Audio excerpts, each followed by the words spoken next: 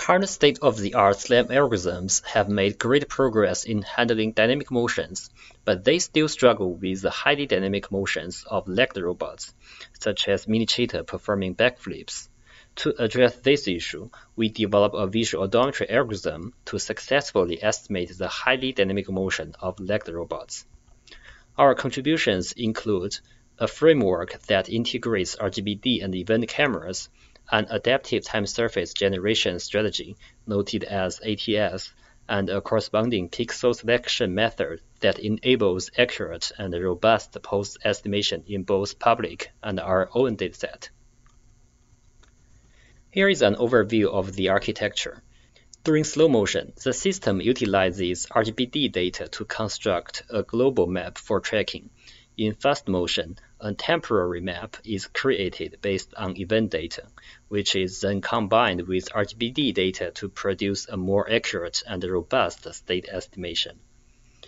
High-speed tracking is achieved by minimizing a cost function that fuses event and RGBD data, while slow motion only relies on RGBD data. We introduced an adaptive time surface to represent event data. The primary goal is to adjust the time surface decay factor adaptively based on the timestamps of the last trigger event in adjacent pixels. To achieve this, we utilize a pattern to select 16 adjacent pixels for every pixel.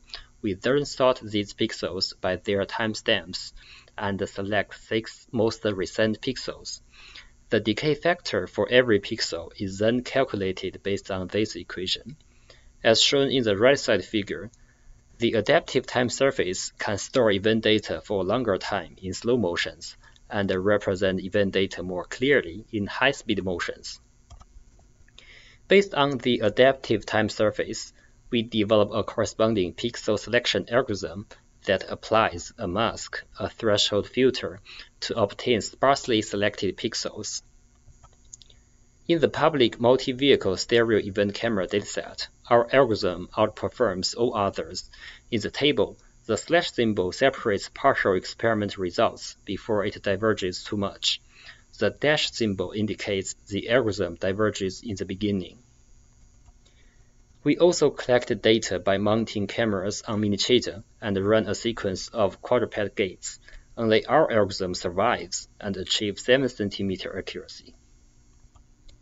Here is a video of the running one experiment, which is a combination of trotting, bounding, and pronking motions.